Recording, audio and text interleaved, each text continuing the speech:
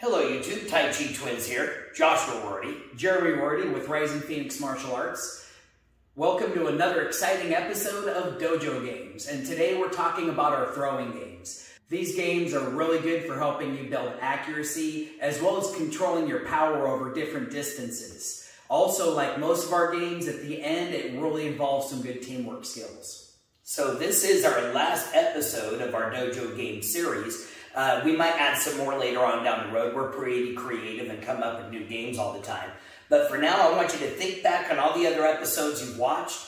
Which one is your favorite dojo game? Go ahead and leave a comment down below. Our first game is a common picnic game, the egg toss. To make it less messy, though, we replace the egg with a ball. Start the game with the partners a couple of paces apart.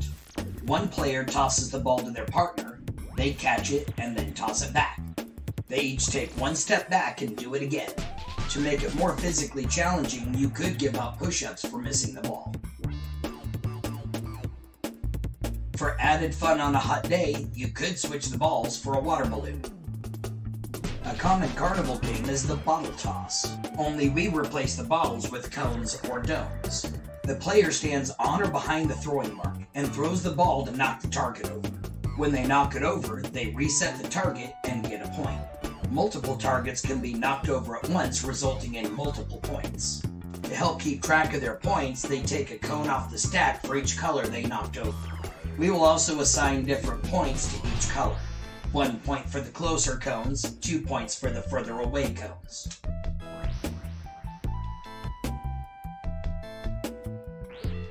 You can only score once off of each stack. Zach knocked over two blue cones, but only gets the score for one. You can also split the group into teams. The player throws the ball to knock over a target. Then they have to get the ball back to their team so the next player can throw the ball. The team that knocks over all their targets first wins. In this game, we make them knock over the close cones before they can go for the blue target. The first team that knocks over the blue target wins.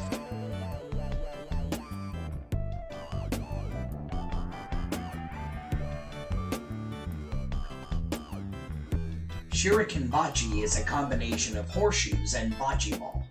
Set out a target dome, or optionally you can have the first player throw the target dome out. Each player then takes turns throwing their shuriken to get as close to the target as possible. Once each player has taken their turn, the shuriken closest to the target gets a point. Award two points for each shuriken leaning against the target. Award three points for each shuriken on top of the target. Our next game, Hoops, we break down into three games. The first focuses on making the ball through the hoop. The players line up behind the throwing target and try to throw the ball through the hoop. They then retrieve the ball and get it back to the next person in line. Make sure to change what level and what side you hold the hoop on. To make it more challenging, the hoop holder can move the hoop. Try to figure out fun patterns.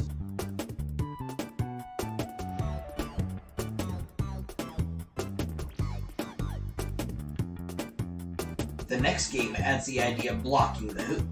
Make two teams. A throwing line divides the teams. Players can't cross that line. A few paces back from the throwing line is the goalie box. Only the hoop holder is allowed in the box. The defense team stands between the goalie box and the throwing line. They try to block the ball from going through the hoop. The offensive team gets a ball and picks a player to hold the hoop in the goalie box. One player tries to get the ball past the other team and through the hoop. The hoop holder can move the hoop any way they want to catch the ball, but they can't leave the goalie box. After three throws, the teams switch sides. Every time you switch, the teams will pick a new hoop holder. Also, to be fair, make sure that everyone gets a turn with the ball. The first team to reach 9 points wins. Remember that this is a team game, and you can be tricky by using teamwork in passing the ball.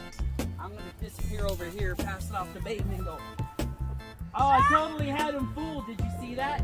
Check this out. I'm gonna pass it to you. I'm gonna pretend like I'm throwing. Now that was a little slow, but did you guys get the idea? For the final evolution of the game, go full court by adding a second goalie box and hoop. Each team picks a hoop holder who stands in the goalie box on the opposite side. The ref starts with the ball at the center line and throws the ball straight up. The team that gets the ball tries to throw it through their hoop. When a point is scored, reset and each team picks a new hoop holder. You can play the best two out of three or the first team to hit nine points.